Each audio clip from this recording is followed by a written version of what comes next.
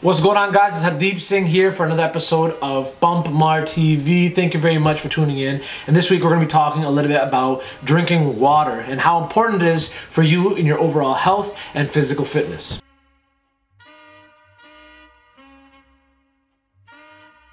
Now, for those of you that don't know, it's very important for you to be drinking lots of water in a day. Um, you know, some argue that it's eight glasses of water. Uh, I've generally used two liters of water as my uh, middle ground for how much water I like to drink in a day.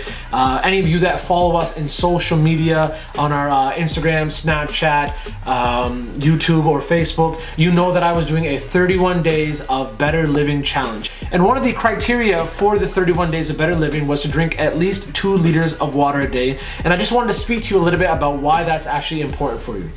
Now it's super important for you to stay hydrated because it's gonna help you from not fatiguing as fast. A lot of times when you are tired, you have uh, muscular endurance issues or anything, it could be a lack of hydration in your body. Water helps you with so much. It helps you so much with just being able to perform your everyday duties or when you're doing strenuous activities like uh, working out with repetitions and just doing the same thing over and over again. It's very important for your body to be hydrated just to reduce the amount of fatigue that you uh, endure. For those of you that don't know, it's actually very important to stay hydrated because it can help your mood.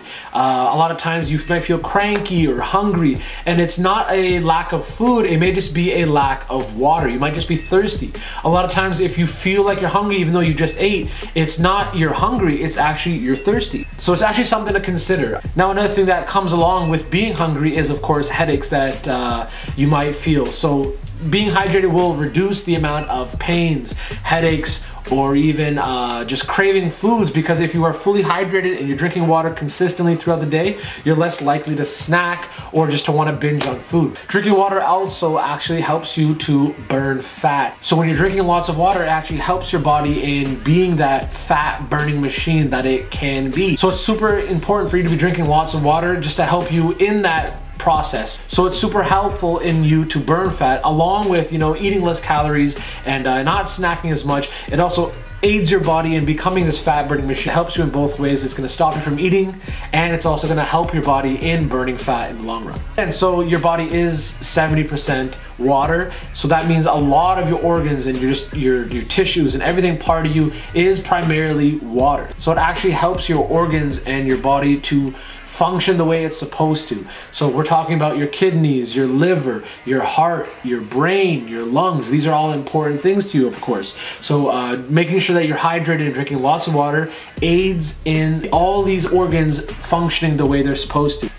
Also, uh, for those of you that have ever had kidney stones or anyone in your family that has ever had kidney stones, uh, I'm sure you know they're very painful. Drinking lots of water can help reduce the risks or the, you're less likely to ever produce kidney stones, which is always a good thing. So again, um, your body is designed to run off of water and uh, it's always key to make sure that you're drinking lots just to make sure that you're avoiding any health issues or complications in the long run.